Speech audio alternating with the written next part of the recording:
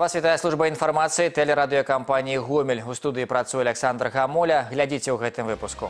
Кантроль за ходам уборачнай на вышэйшым узроўні. На заўтра ў Беларусі запланавана рэспубліканская селектарная нарада. Тэхнічная рэвалюцыя ў камбайнабудаванні. Гомсельмаш распачаў выпрабаванні новай мадэлі камбайна на газаматорным паліве. Свята працы, маладосці і сяброўства. Сёння азначаецца дзень студэнцкіх атрадаў. А зараз аб гэтым і іншым больш падрабязна. Прэзідэнт Беларусі Александр Лукашенко заўтра правядзе рэспубліканскую селектарную нараду па пытаннях уборкі ўраджаю. Як паведамляе прэс-служба прэзідэнта, асаблівая ўвага да сёлетняй уборачнай кампаніі выклікана тым, што на яе аказваюць уплыў няўстойлівыя умовы надвор'я. Таму кантроль за правядзеннем палявых работ, вынік якіх уплывае на стан эканамічнай і харчовай бяспекі дзяржавы, вядзецца на вышэйшым узроўні. Пра стан спраў даложаць кіраўнікі рэгіёнаў, якія будуць знаходзіцца на прамой сувязі сувязі. Працягваем выпуск. Супрацоўнікі міліцыі распачалі праверку прадпрыемстваў аграпрамысловага комплексу. Штодзённыя рэйдавыя мерапрыемствы праводзяцца згодна з адпаведным даручэннем прэзідэнта Беларусі. Праваахоўнікі будуць сачыць за выкананнем правілаў дарожнага руху і перавозкі грузаў, выяўляць факты махлярства і крадзяжоў паліва.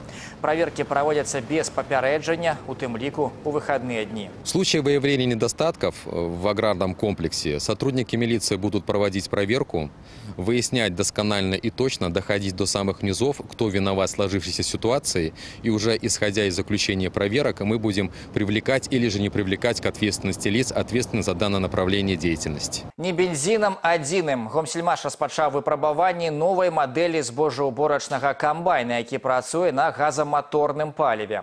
Тэхніка унікальная для Беларусі і для сусветнай практыкі, бо ніхто раней не выпускаў сельскагаспадарчую машыну на газавым паліве. Як праходзяць выпрабаванні ці бяспечныя работы ва ўмовах жніва і якія перспектывы ў новай машыны, даведалася Ганна Кавалёва. Першы ў свеце камбайн на газавым паліве выйшаў на палеткі гомельскага района. Сельскагаспадарчая машына новага пакалення, распрацаваная спецыялістамі гомсельмаша, зараз праходзіць палявыя выпрабаванні. Поўная назва газаматорны збожаўборачны камбайн GS4118К Палесе. Ад праекта да паўнавартаснай машыны адлегласць у год. І вось зараз камбайн робіць першыя намалоты. Да адпраўкі стаяла галоўнае пытанне, як павядзе сябе механізм у суровых умовах жніва. І сёння ўжо ёсць прыкладны адказ. Ну вот мы уже неделю работаем с этим комбайном. По мощности он ничем не уступает серийной технике. Управление все то же самое, как на серийной машине. Установлен только двигатель на газовом оборудовании. По управлению это та же самая серийная техника. Особо проблем никаких нету сейчас, нареканий нету. Газ захоўваецца ў балонах з вугляпластыку. Канструктары кажуць, што насуперак стэрэатыпам такі камбайн больш бяспечны, чым звычайны. Для свету газаматорныя аўтамабілі не навіна. Па некаторых краінах ужо калясяць легкавушкі і аўтобусы на газаматорным паліве. Аднак такой сельскагаспадарчай машыны раней ніхто не выпускаў. Гэты камбайн адзіны. Пад белым капотам 6 газавых балонаў і яшчэ два замест паліўнага бака. У выніку аб'ём на 450 кубічных метраў сціснутага газу. Гэтага хапае на адзін працоўны дзень без дазапраўкі. Зараз у рэгіёне ўсяго некалькі мабільных газазапраўшчыкаў. Для шырокага выкарыстання новых камбайнаў гэтага мала. Каб запоўніць прабел, трэба каля 15 гадоў. Мэта не з лёгкіх, аднак па словах распрацоўшчыкаў, гэта работа дзеля будучыні. Тым больш, што сыход ад нафты і бензіну да альтэрнатыўных відаў паліва агульнасусветная тэндэнцыя. Чем интересен газ? Это, во-первых, более экологичное топливо, то есть выхлопы э, снижены на 70%, сегодня соответствуют тем требованиям, которые еще будут введены в Евросоюзе только с 2019 года.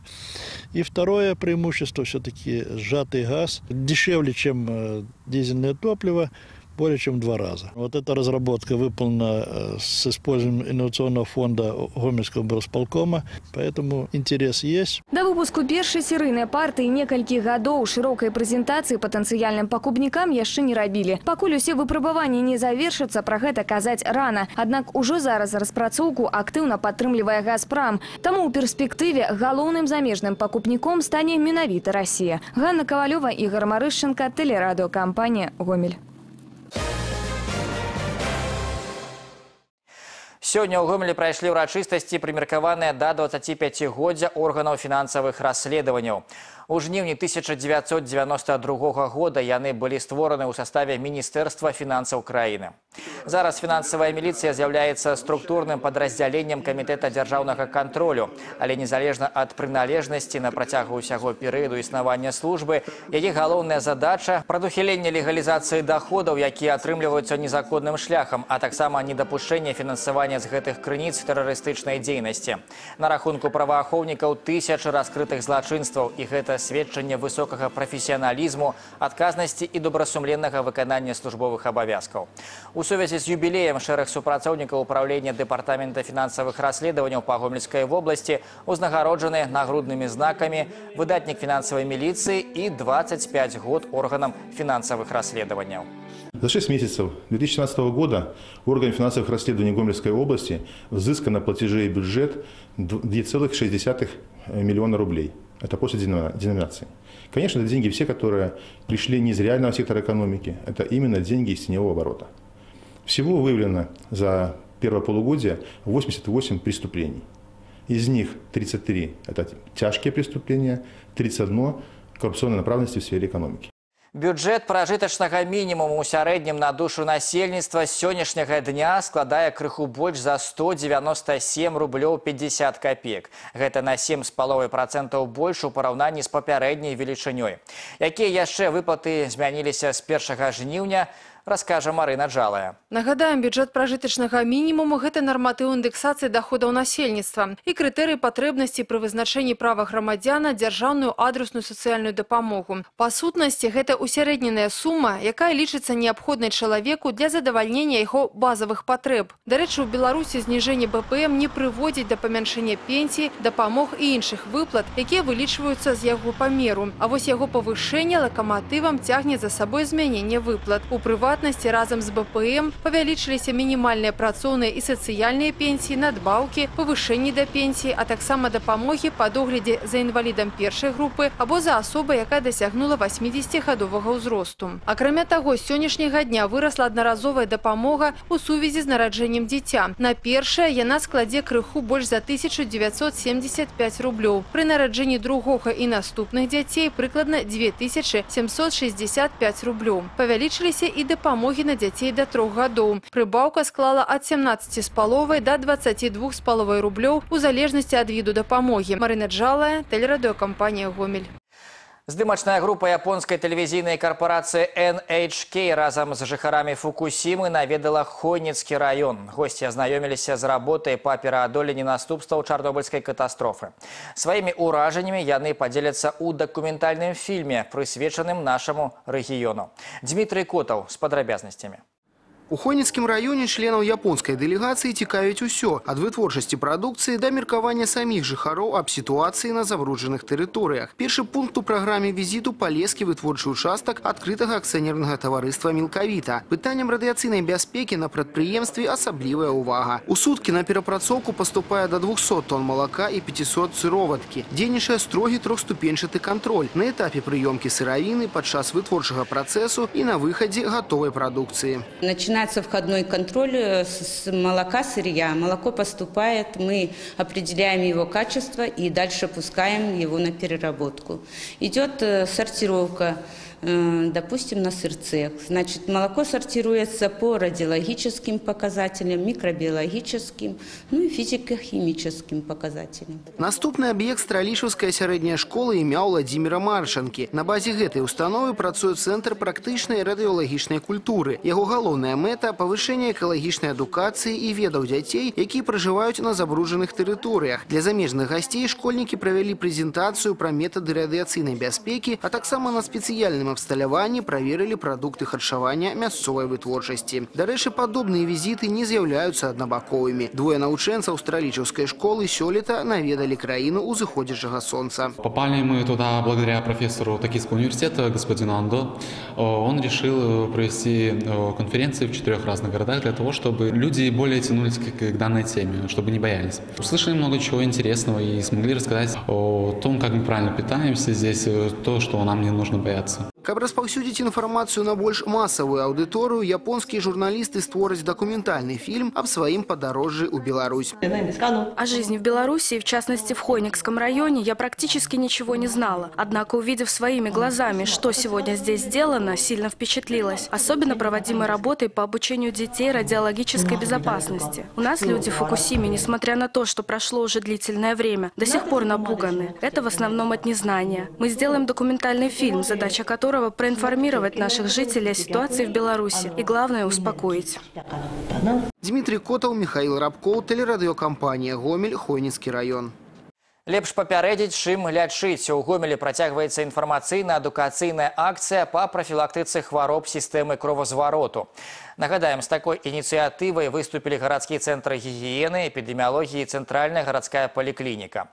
Падчас правядзення акцыі ўсім жадаючым спецыялісты вымяраюць артэрыяльны ціск і дадуць кансультацыі па прафілактыцы захворванняў, здаровым харчаванні і рухальнай актыўнасці. Можна будзе даведацца пра свой індэкс масы цела і атрымаць навыкі самастойнага вымярэння ціску. Першае падобнае мерапрыемства пройдзе заўтра з 14 да 16 гадзін на цэнтральным рынку. У гэты час 9 жніўня акцыя адбудзецца ў супермаркеце па адрасе Сухога 2. 16 жніўня таксама з 14 до 16 мерапрыемства пройдзе ў супермаркеце па вуліцы Мазурава 79. 23 жніўня з 11.30 до 13 гадзін наведвальнікаў чакаюць у корпусе завода кіравання Гомсельмаш. Апошняе ў гэтым месяцы мерапрыемства запланавана на 30 жніўня з 14 до 16 акцыю правядуць ва універмагу Гомель. Сёння ў Беларусі азначаецца адзіны дзень студэнцкіх атрадаў. У гомелі яго адзначылі ўшанаваннем лепшых байцоў і камандзіраў, мітынгам і правядзеннем дыскусійнага клуба. З актывістамі руху сустрэўся Олег Сенцюроў. Непасрэдна першыя студэнцкія атрады стварылі ў весну 59 і яшчэ праз чатыры гады ва ўральскую вобласць Казахстана выехаў першы беларускі студатрад, байцамі якога сталі дзве з паловай тысячы чалавек. Прычым трапіць у яго можна было толькі па конкурсе. У гэтым за мінулы час, дарэчы, змянілася няшмат. У атрад гомельскіх студэнтаў, які сёлета працаваў ва ўсерасійскім дзіцячым цэнтры арлёнак, конкурс складаў 10 чалавек на месца. Работа дала в первую очередь э, опыт, потому что это был первые самостоятельно заработанные деньги, новые знакомства, знакомства в Орленке, потому что там вожатые приезжали из России, со всех, со всех регионов России работать. И с некоторыми вожатыми мы до сих пор общаемся. Адна з задач студатрадаў працоўная адаптацыя студэнтаў з магчымасцю атрымання першых заробкаў за межамі Беларусі яны складаюць да 800 рублёў у нашай краіне ў сярэднім каля 200 хоць тут шмат залежыць ад профілю атрада непасрэдна ў гомскай вобласці ёсць свая спецыялізацыя работа ў сельгазпрадпрыемствах это уборка урожая зерноток все что связано с сельским хозяйством как раз вот август и начало сентября – это те пиковые месяцы, когда основная масса молодежи у нас подключается к судотрядовскому движению. Но уже на сегодняшний день более полутора тысяч человек уже отработали в студенческих отрядах. Это и выездные отряды за пределы Республики Беларусь, и э, строительство атомной электростанции. Также у нас трудятся отряды на строительстве нашей детской областной клинической больницы. Пачынаючы з 1963 года студэнты пачалі працаваць не толькі на будаўнічых аб'ектах, але і педагогамі ў школах, праваднікамі на чыгунцы, прадаўцамі ў крамах і нават займаліся рыбалоўством. Зараз усё больш значнае распаўсюджванне атрымліваюць валанцёрскія атрады. Іх задача добраўпарадкавання тэрыторый і аказанне бясплатнай дапамогі ўсім, хто мае патребу ад выхаванцаў дзіцячых дамоў да ветэранаў. Это не за рублем пошли люди.